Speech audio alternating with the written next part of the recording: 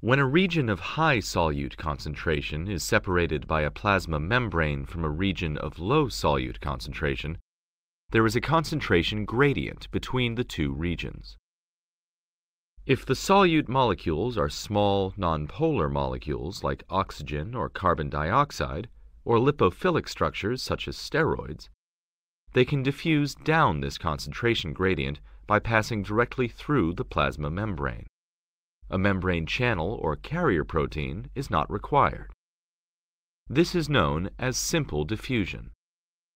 This process is described as passive, as energy in the form of ATP is not needed for molecules of solute to cross the plasma membrane.